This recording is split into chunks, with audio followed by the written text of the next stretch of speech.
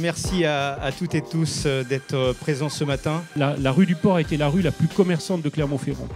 Et on a retrouvé en revenant une rue où il y avait finalement plus, plus beaucoup de commerces. Donc avec quelques-uns, on s'est dit, bon, on va créer une association de résidents. Au cours de l'année dernière, il y a 10 commerces qui ont réouvert dans la rue du Port et il n'y en a aucun qui a fermé. La ville de Thiers a décidé de se lancer sur un, un projet qui s'appelle Territoire zéro chômage de longue durée, sur euh, la première entreprise qui a été euh, mise en place un 1er mai, 1er mai 2017.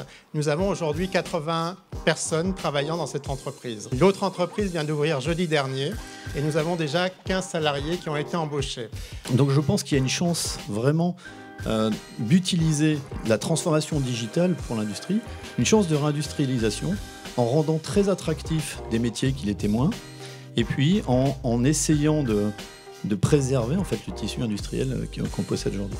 Et j'ai cette intime conviction-là qu'on est euh, en train, avec vous, à travers euh, les combats que vous allez mener sur vos territoires et dans vos communes, on est au fond en train euh, de préparer ce que sera le bilan de la majorité présidentielle euh, en 2022. Et Dieu seul sait que c'est important si on veut avoir l'opportunité de poursuivre le travail qu'on a commencé pour notre pays. Si on prend cette thématique de l'attractivité économique et du développement économique, effectivement, je pense que la politique que nous menons aujourd'hui répond aux besoins notamment des entreprises de ce pays.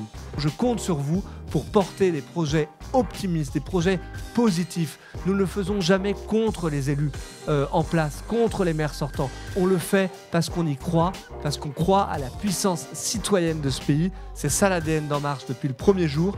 Je vous remercie.